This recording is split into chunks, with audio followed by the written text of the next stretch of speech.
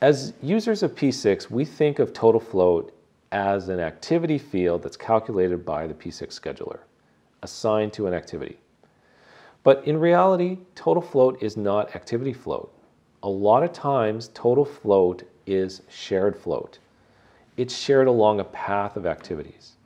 So if you think of an activity as having a bunch of days of float, and that float gets eaten, then the successor activities will also have their float affected, chewed up. So float is often shared on a path of activities. Let's look at a simple example. You've probably seen these network diagrams before. The critical path is in red. I have total float values in green. And then I have the early and late dates calculated there as well.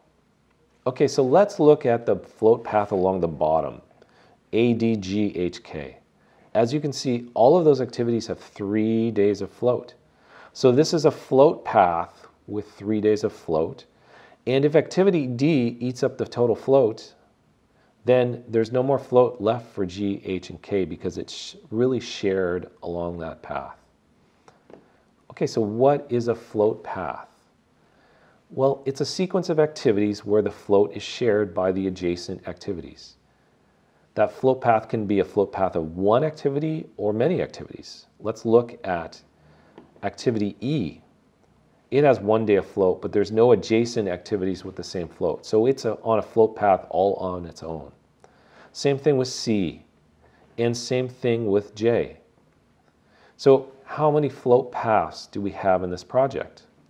Well, if you count the critical path as one, E as another, C, J as two more, and then the path along the bottom, that's five float paths. So we have five different float paths on this project. Now, did you know that P6 also can calculate these float paths? Let's dive in and I'll show you how it works. Hey, if you're learning something relevant in this video, do me a favor. Just hit the like button, give it a thumbs up.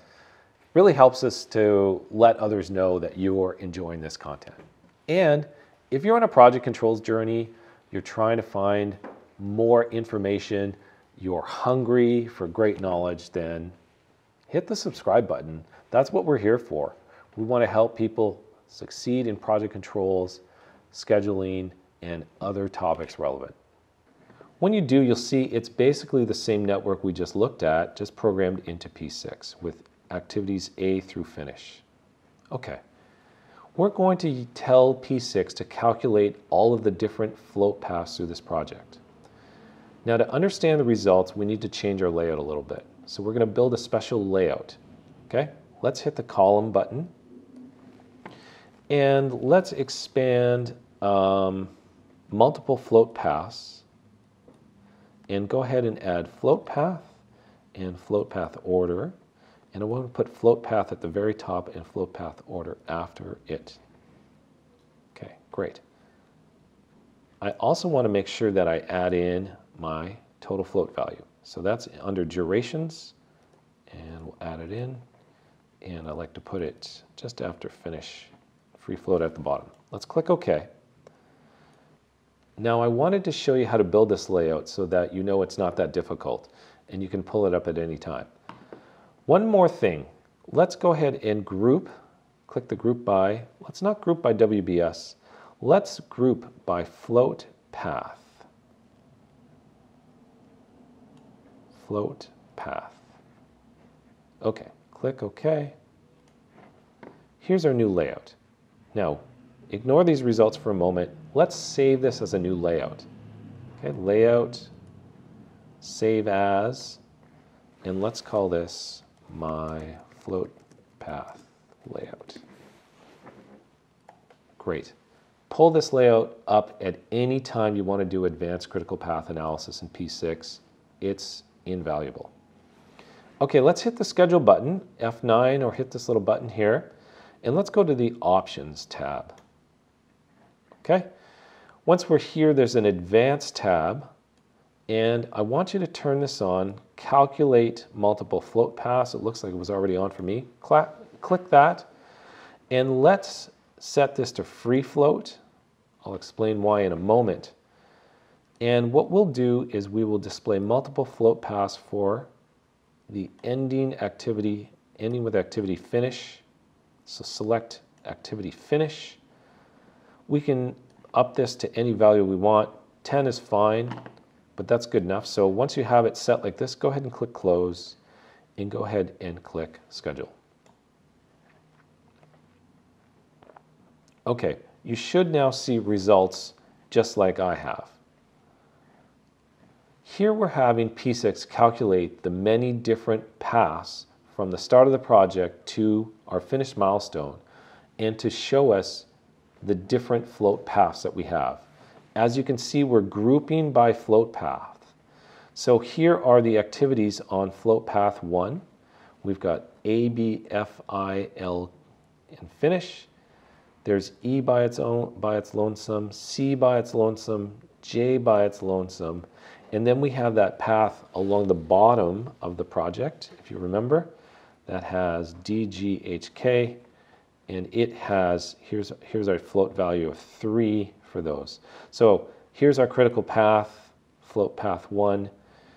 Uh, this one has one day, one day, or three days, and the last one has six days of total float. Now let's group our data by float path.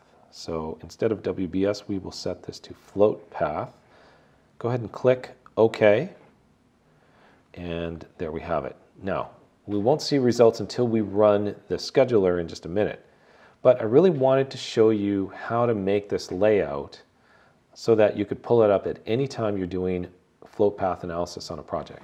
So let's go ahead and save this layout. We'll go to Layout here, Layout, Save As, and let's call it My float path layout. It's a pretty simple layout, but it's going to be invaluable anytime you want to use it to analyze a schedule. Let's go ahead and click the schedule button, and then let's hit the options button on the scheduled pop-up window. From here, because this is an advanced course, we're going to the advanced tab. Here we go. This is where we can tell P6 when it schedules the project to go ahead and calculate the many float paths on the project. So what we'll do is we'll check this box on. We'll make sure this is set to free float. And then here, we can hit the little button and ask it to calculate the float paths from the start to this activity, the finish activity in the project. You can also specify how many float paths you'd like it to calculate, maybe just three or five. If, if there's fewer than 10, it'll calculate as many as it can. I like to leave this at 10. 10 is lots. Okay, so let's close from here and let's go ahead and schedule the project. Well, let's look at the results. What you can see is my activity list divided by these blue bars, which are my float paths. So I have one, two, three, four, five float paths to the project, just like we saw in our network diagram. And if you look at the total float values, you can see that float path 1 has got 0, so that's our critical path. Float path 2 has got one day, that's activity E. Activity C has got one day, that's float path 3. Float path 4 is that path along the bottom of the network with our three days. And then lastly, we have it float path 5, which is J having six days of float. We have a slight difference there uh, in this calculation versus the network, but let's ignore it for the moment. Okay, now we also have this field here, float path order, and we can sort our results by float path order, which gives me the same thing. And basically, the it's a listing of the activities in the order along the path. So obviously A would be earlier and L would be at the end. Okay, so we can list them that way, and it's common to sort this list by float path order. Now, what do we do with these results? In the next video, I'm going to show you how we can use this multiple float path feature in P6 to calculate advanced critical paths or multiple critical paths through a project to intermediate milestones. Hey, you know what? We covered this topic and so much more in our Primavera P6 course. There's a link to it in the description. Check it out.